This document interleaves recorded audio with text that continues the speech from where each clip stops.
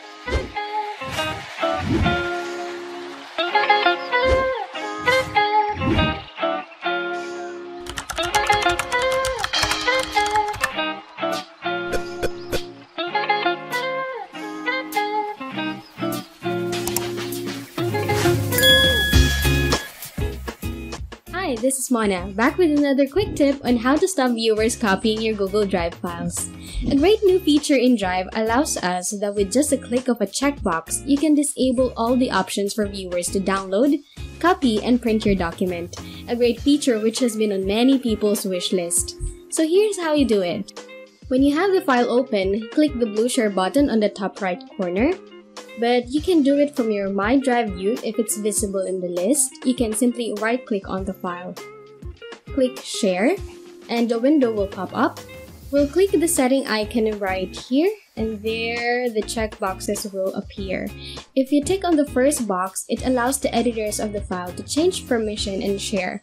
But our concern here is the second box. If we uncheck it, there you go. Now commenters and viewers won't see the option to download, print, or copy your file. Pretty simple, right? But it's very helpful in adding extra protection to your file. Hope you found this useful and thanks for watching.